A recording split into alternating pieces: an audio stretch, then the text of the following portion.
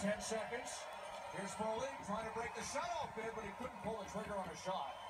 Backlund to the line to Hamilton. Giordano shoots, that's deflected wide, and that'll do it. Frederik Andersen with a 26 save shutout. Flames shut out the Leafs 3 0 in Calgary. Toronto returns the favor at Air Canada Center with a 4 0 win.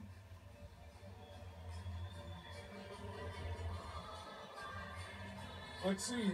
There's a butt end here near the end of the game. I think it's Marincin that he's going to go down awkwardly.